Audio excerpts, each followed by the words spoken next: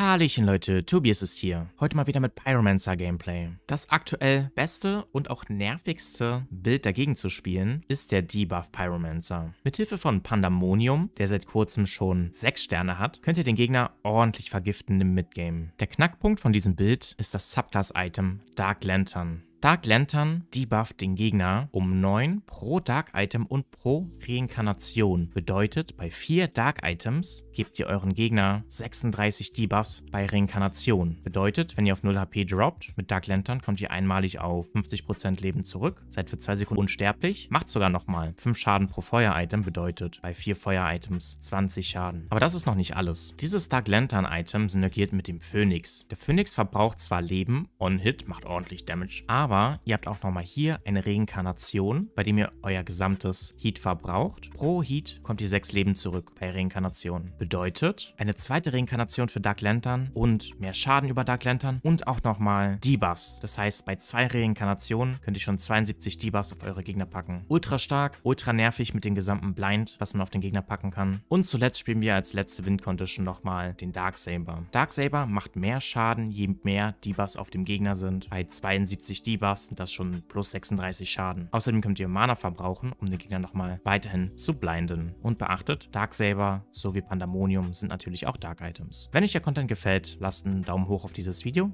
abonniert diesen Kanal, um keine weiteren Videos mehr zu verpassen. Viel Spaß mit dem Gameplay, enjoy!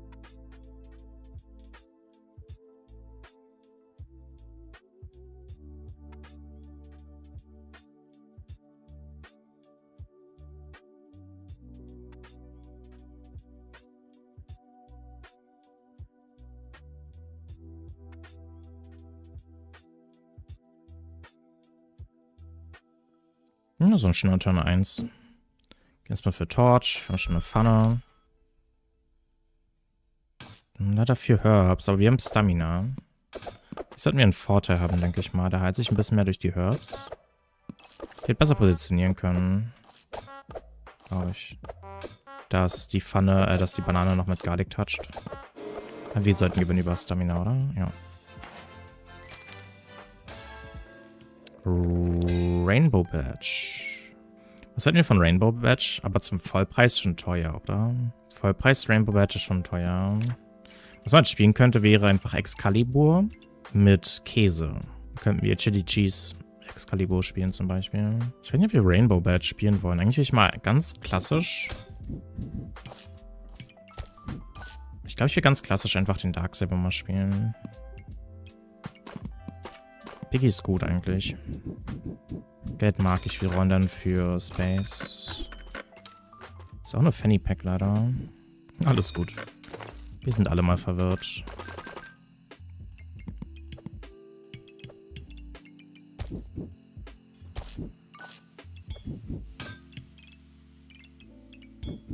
Oh. Leider haben wir ein Fanny Pack gerollt. Da bin ich gerade nicht so der größte Fan von irgendwie.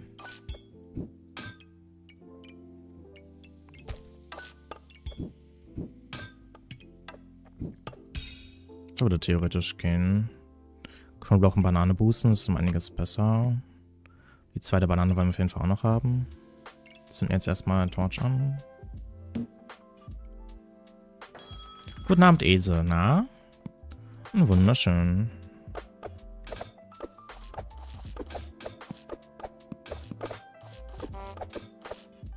Das werde ich so bescheiden mit dem Bild. Kostet so viel Stamina-Spaß. Und hier ist ein Dagger, den wir eigentlich wollen. Ein Early Molten Dagger soll sehr, sehr, sehr, sehr gut sein. Banane, die für Space. Oh, Chili auch gefunden. Sweet.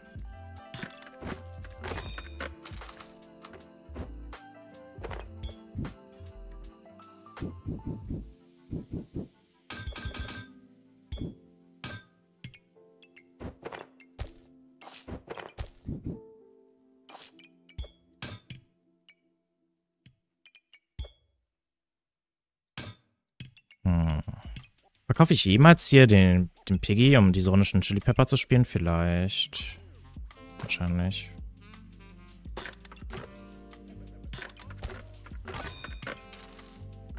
Eine schöne Pfanne voll.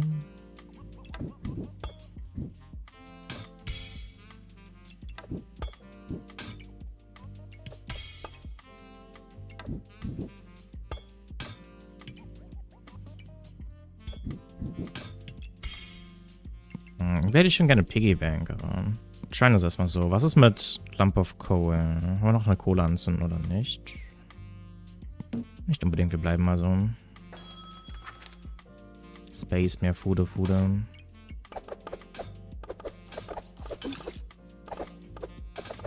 Oh, der Crit war mies, Mann.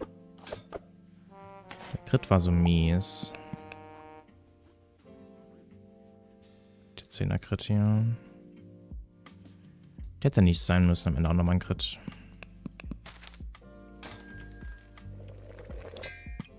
Eine Flamme mit. Wir rein einmal für Space. Oh, Crystal ist da. Damn.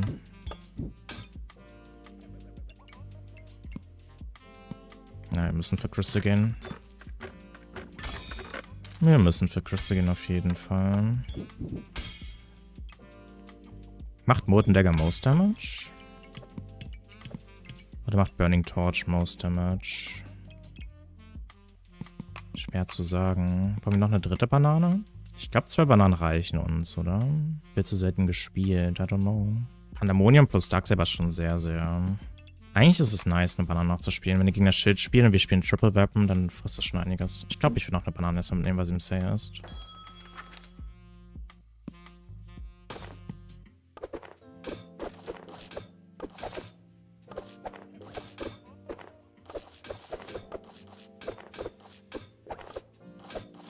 Komm schon. Please.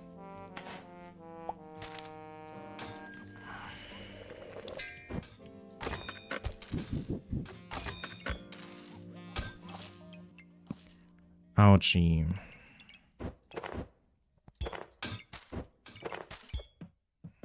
Ende haben wir noch einmal gehongt.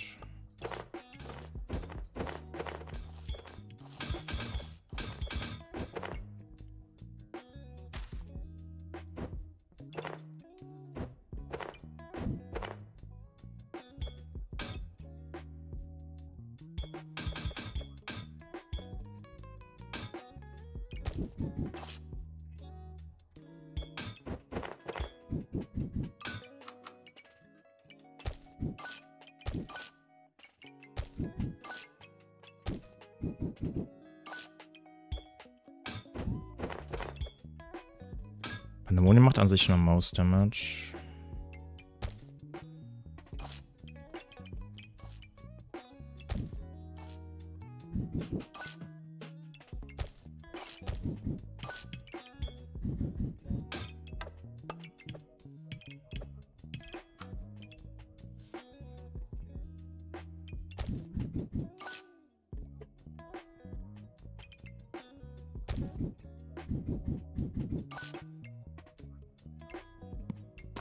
Schöner kriegen wir das gerade nicht hin, oder? Hat hier noch ein Whetstone theoretisch? Kriegen wir auch nicht so geil eingebaut, außer ich opfer hier halt eine Flamme. Ist drei Bananen nicht zu viel? Wir haben drei Waffen. Wenn wir gegen eine Schilde spielen, frisst das ziemlich Stamina rein. Wenn wir Heat haben, werden unsere Waffen schneller, wir verbrauchen mehr Stamina. Gerade wenn wir noch Darksaber spielen wollen, kann das ordentlich Stamina verbrauchen, lieber genug Stamina haben, als so viel zu brauchen. Und wir brauchen sowieso Food. Und es hat nur zwei ähm, Gold gekostet. Also ich habe ja keinen Verlust, wenn ich eine Banane wieder verkaufen sollte. Task. Spear brauchen wir nicht. Handschuh gerade auch nicht unbedingt. Kohle auch nicht unbedingt.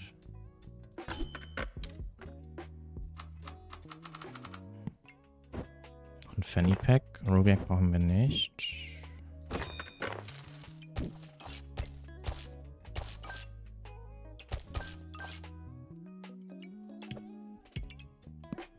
Piggy würde ich gerne mitnehmen.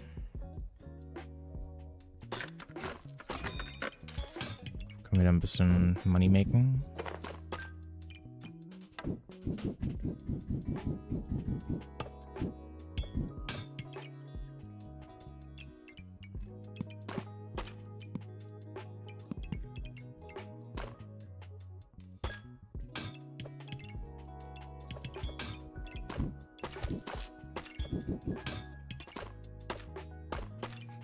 Besser, vier Stände für Piggy. Wenn du ewig keine Backward Battles gespielt mehr hast, solltest du es vielleicht... Oh. Solltest du, solltest vielleicht mal wieder machen. Dann verliere ich einen Stern, ist okay. Zu viel, also... Ich habe lieber noch eine dritte Banane als zu wenig Stamina. Je nach Gegner kann das halt abweichen, wie viel Stamina wir brauchen. In dem einen Fight hätten wir eine dritte Banane gebraucht sogar.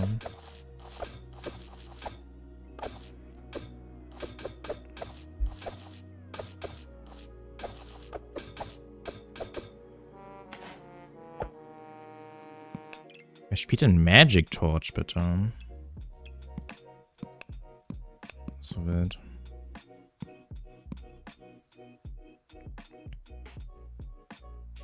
Blueberries, wir haben noch keine gesehen leider, um die Pfanne glücklich zu machen. Da ist eine Blueberry. Stamina Sack. Noch eine Chili, die wir auf jeden Fall wollen. Kommt eine Flamme raus.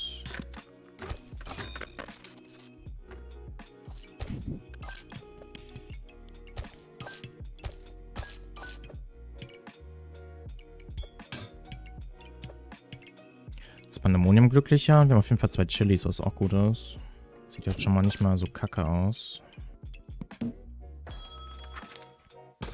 Ein starkes Kartensetup, mal schauen. White Ice, White Ice Holo Fire Lizard, das tut schon weh. Ist um 8 gecodet. Wir verlieren das sogar, oder? Not close. Wichtig, damit wir unseren Subclass-Item bekommen und ein Leben zurück. Gehen für Ashbringer.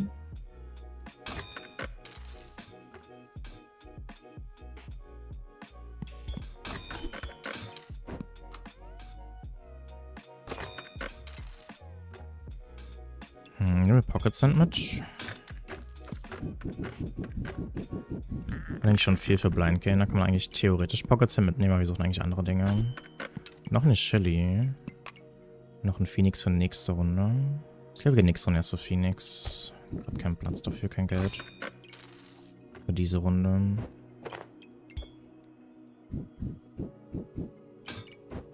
Wie relevant sollte es sein, die Dark Lantern hier glücklich zu machen? Schon.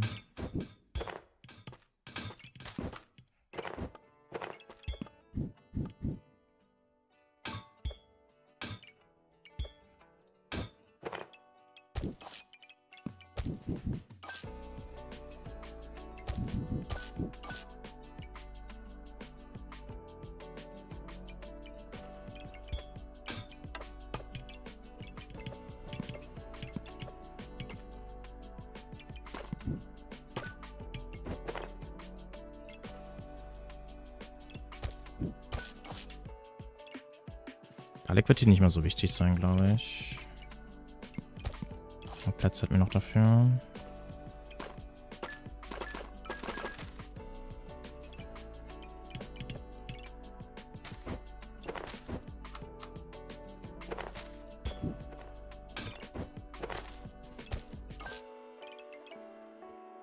Hm.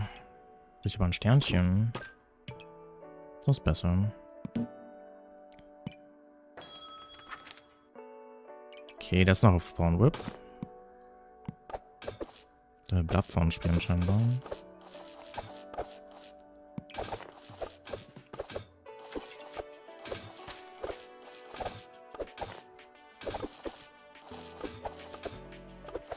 Da so viel Heilung drauf? Krass. Dass wir, dass wir das verlieren, bitte. Ein bisschen Anti-Poison drauf, aber das verlieren wir. Das ist crazy. 13 Spikes aufgebaut. Aua. Das ist eine Holy Armor. Ist auf jeden Fall ein Phoenix.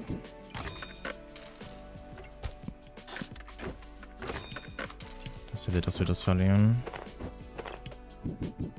Eigentlich müsste Molten Dagger raus. Mittlerweile.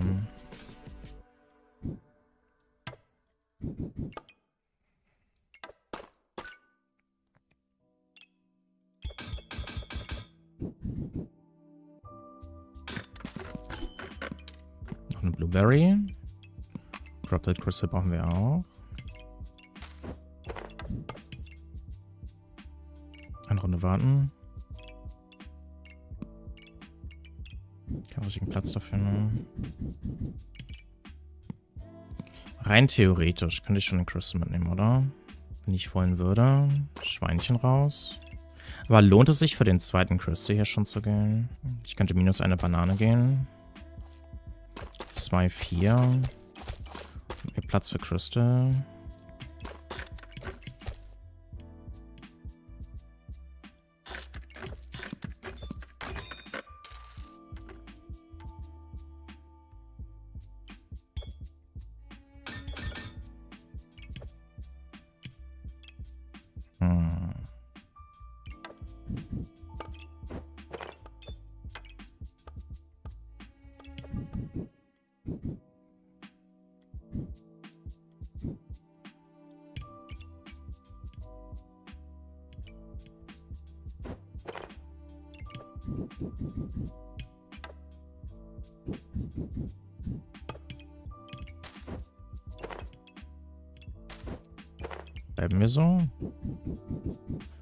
Höchstens 5 HP noch mehr rein über, über Phoenix.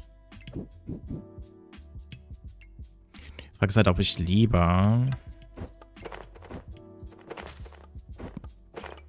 Torch Phoenix schnell machen möchte. Wollen wir noch eine Blueberry? Für eins. Hatte ich einen Dodge Master? Gab es nicht das Gerücht, dass es am Wochenende ein Shiny Event in Rogue gibt? Ja. Das Gerücht zirkuliert, ja.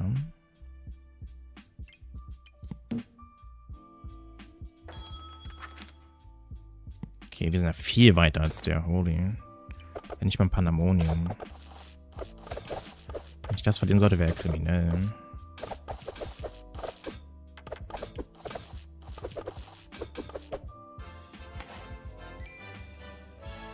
Noch nichts bestätigt, nein. Blueberry. Mana Orb aktuell weniger.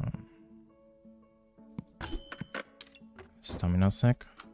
Das Problem ist halt... Ein Draconic Orb eigentlich ganz geil. Spikes sind immer ordentlich nervig. Ja, ich will schon Draconic Orb. Wenn ich für Lightsaber gehe, für Darksaber, dann haben wir einen Weak Turn. Ne?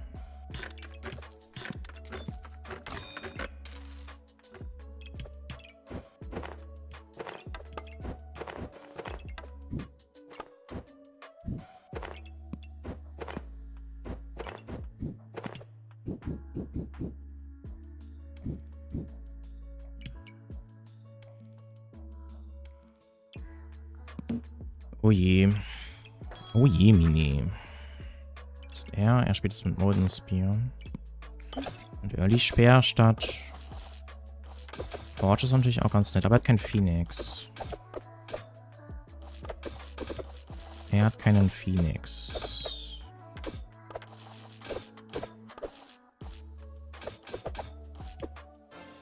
Uh, scary.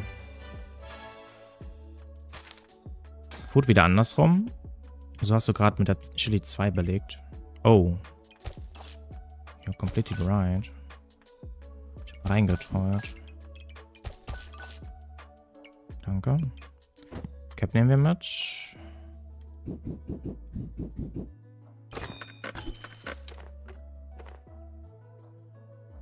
Aber wenn wir jetzt schon eine Cap nutzen für Croplet Chris, eigentlich suchen wir einen Darksaber, richtig?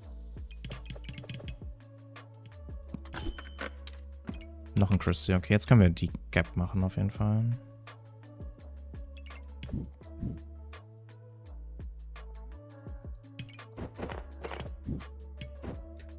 Den jetzt frei? In Theory. Nehmen wir den mit. Eine Cap of Discomfort herstellen.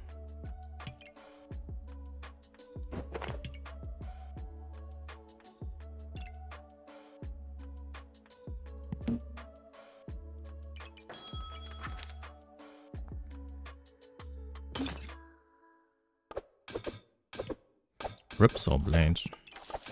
What year is it, dass man Ripsaw Blade spielt? Ah, liegt in der sicher nicht zu lesen, ne?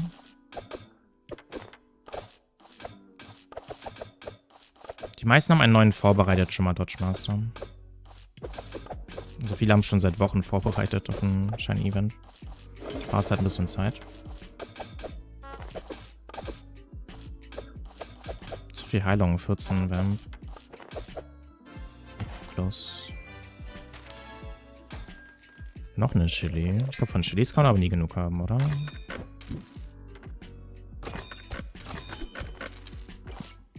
Noch ein Phoenix war man eigentlich nicht. Da wären Pockets sein, was man spielen könnte.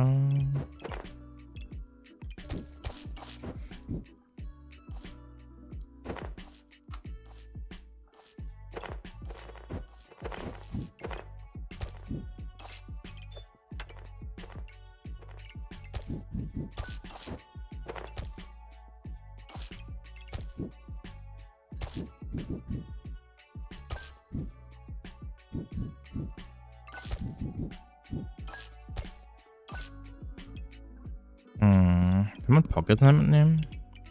Die meisten habe ich nicht Pocket Sand spielen sehen. Das Essen geht aber noch besser, Tobi.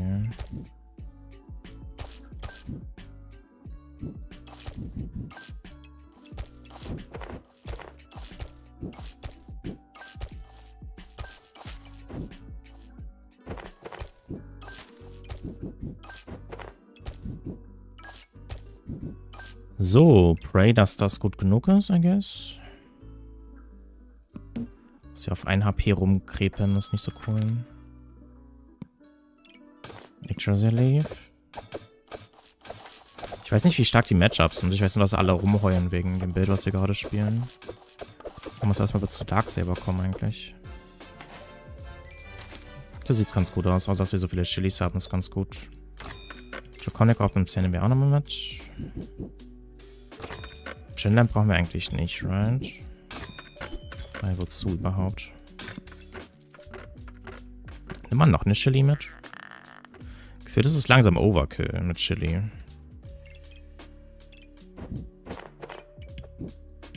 Aber Heat ist halt Leben. Noch eine Chili oder nicht noch eine Chili? Irgendwie hätte ich Bock drauf, aber gefühlt ist es Overkill. Wenn noch so ein Crystal oder so wäre cooler. Pearls gibt mittlerweile 12 Rüstungen, ist eigentlich insane. Noch eine Cap, aber wir suchen eigentlich Crystal oder so. Nope. Computer sagt nein.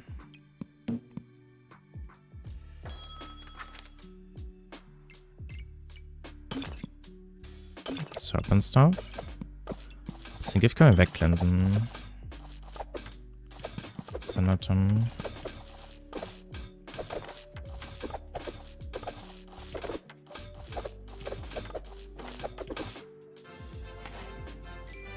Ballert gut.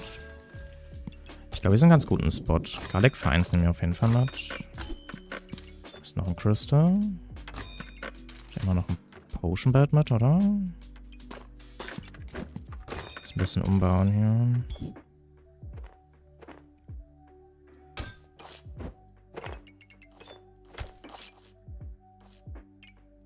Ich finde kein Lightsaber.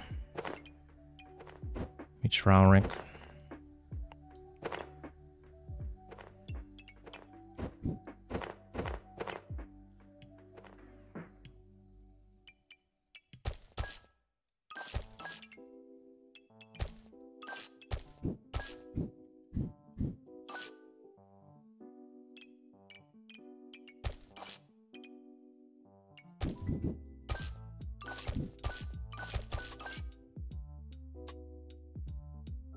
Irgendwie so in die Richtung.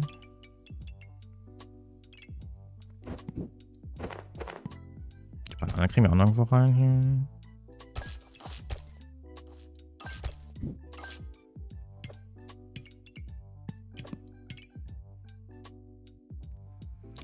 Sieht doch bisher ganz gut aus, oder? Ich habe da, das ist der beste Spot ist gerade für ein Fanny Pack.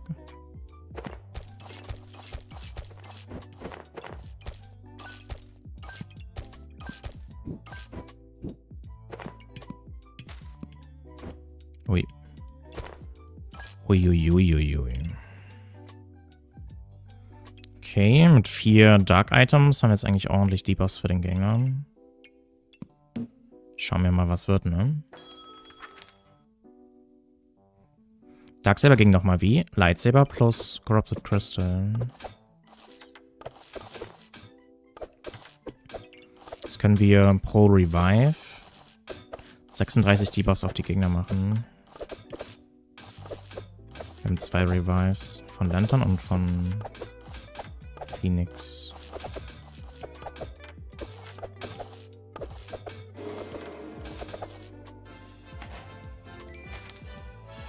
Jetzt kommt Lightsaber. Hm, haben wir ihn trotzdem rein? Ich brauche den Combined schon eigentlich.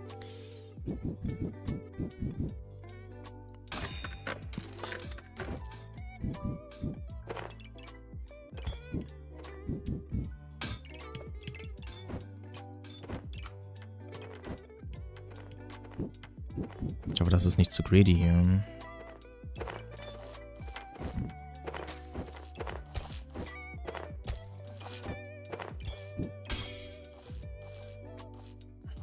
Lightsaber macht ja auch mehr Damage, wenn der Gegner geblendet ist nach dem ersten Revive. Ist jetzt nicht so verkehrt, würde ich sagen.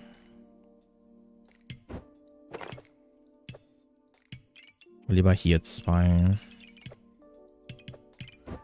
Stamina frisst jetzt auch ein bisschen rein wegen dem Lightsaber.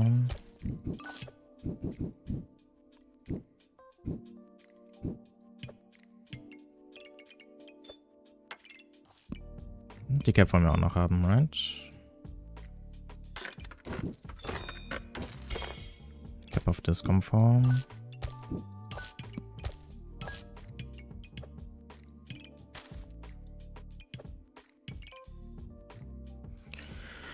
Oh, das ist der Make-or-Break-Turn, ob die Runde noch richtig gut wird oder nicht. Ich krieg ein Leben zurück, wir kriegen einen Darksaber und wir kriegen zweite Cap of Discomfort. Was wird kacke?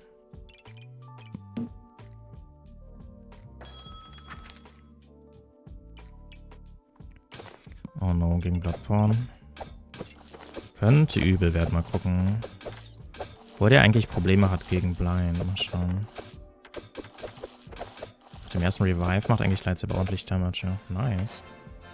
Okay, ab in Survivor. Zum Darksaber. Potion Bad im Sale.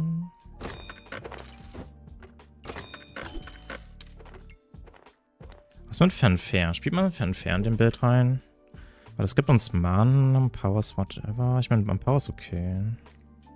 Gegner honken lassen, wenn man selber keine Schild spielt, ist whatever. Hm. Hard Container und Holy Armor. Ein zweiter Phoenix. Ich habe viermal Chili. Ich überlege, ob man echt Phoenix spielen kann. Und hier ein zweiter Phoenix ist Overkill. Wir gehen einfach für Box of Riches. Ich spiele ich weiß nicht, ob man zwei Phoenix spielen kann in der Situation. Ich muss noch ein bisschen umbauen hier, oder? Ich will lieber zwei Fannies oder hier die Fannies durchhaben, die vier.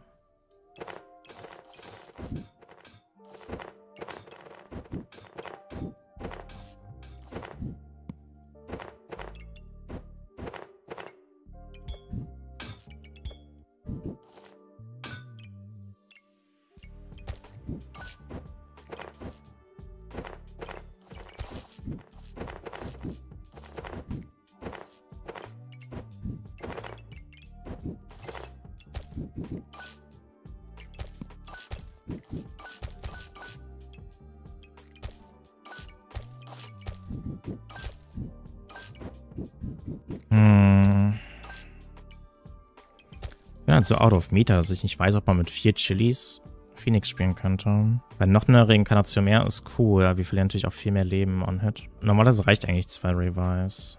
Ja, vielleicht lieber Box. Wir gehen für Gems. Anti-Gift. Oder wir wollen den Gegner vergiften. Maybe eher das. Ein Ice Dragon mit Stone Cold und Fancy auch wert. Ah, Astrid schon wieder. Keine Runde ohne Astrid, ey. Code zerstört uns, oder?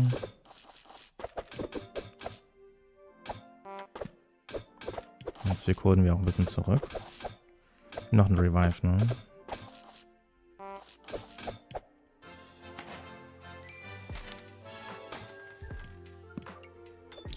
Angreifen. So ein bisschen Stamina-Probleme haben wir sogar.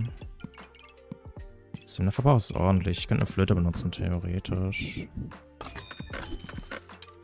Eine Flöte sollte fein sein.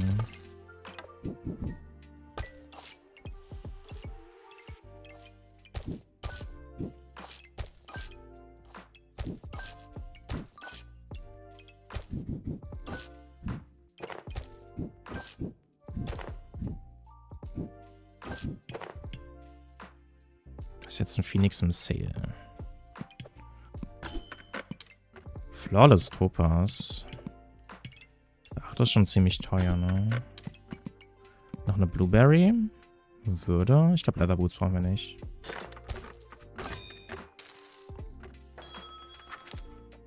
Dann haben wir hier ein Fancy mit hier Longsword. Dann nicht ultra die Stamina-Probleme. Meine, klar, er hat zwei Flöten, aber wer meint, er gar nicht so Stamina-Probleme, wie ich dachte. Sieht stabil aus. Von der Stamina her. Klar, wir haben jetzt keine Rüstung. Nice. Sieht gut aus. Stream macht so viel mehr Spaß mit euch. So, letzte Runde.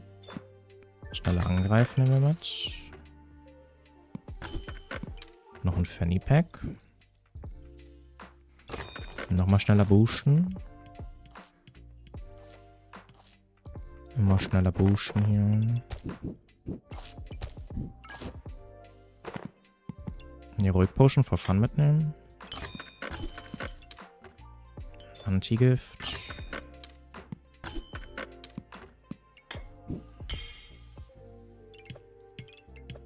Nehme ich das mit für zwei Stamina? Guess.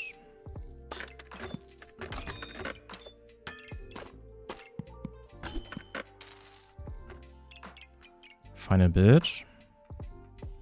Stabile Dark Lantern. Vierfach Fanny Pack auf Lightsaber. Und bei Reinkarnation 36 Debuffs ist so crazy, ne? Wir haben das Bild so heftig gebufft. Wir haben sogar ein Glückssteinchen.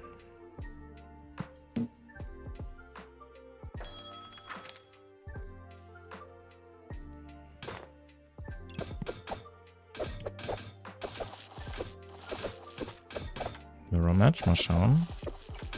Er hat zwei Crowns und Mana Orb. Ah, das ist ein großer Unterschied. Ich habe dafür mehr Chilis. Ich habe vier zum Cleansen. Keine Ahnung, wer den Fight gewinnt. Sieht sehr nach Coinflip aus. Aber wahrscheinlich cleansen, cleansen die Crowns genug ähm, blind weg.